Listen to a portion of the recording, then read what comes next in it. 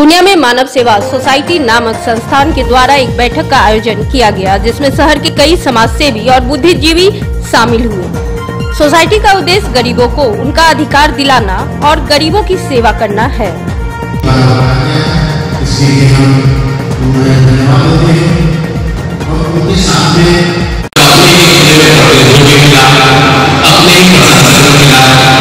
लिए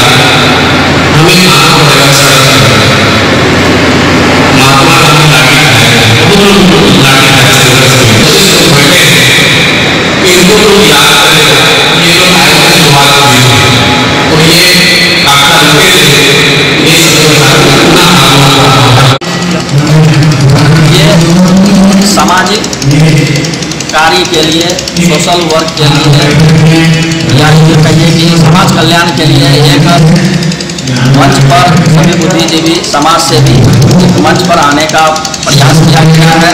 एक मंच तैयार किया गया है, जिसका नाम है मानव सेवा सोसाइटी।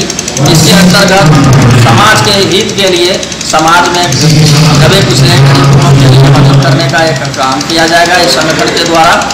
और इसमें जाति धर्म का कोई भेदभाव नहीं है, सभी धर्म, सभी जाति के आदमी इसमें आगे एक मानव, एक सोसाइटी, एक इंसान, एक हम लोग सिर्फ़ इंसानियत है। इंसानियत का मैसेज छोड़ना है।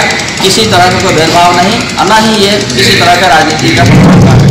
ये गैर राजनीतिक संगठन है। सिर्फ़ इसका मुख्य उद्देश्य है कि मानव सेवा, मानव कल्याण।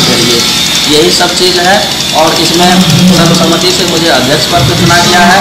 हम अध्यक्ष पद पर रहते हुए सारे कार्य को को- भी करने का कोशिश करेंगे और भी बहुत सारे आदमी जुड़ने की कोशिश कर रहे हैं हमारी सोसाइटी में क्योंकि यहाँ यूनाइट होना है एकता बनना है। एकता के तहत सारी कार्रवाई कार्य किया जाएगा। यही मेरा मुद्दा है अपना परिचय बताइए। मेरा नाम रंजीत सिन्हा है।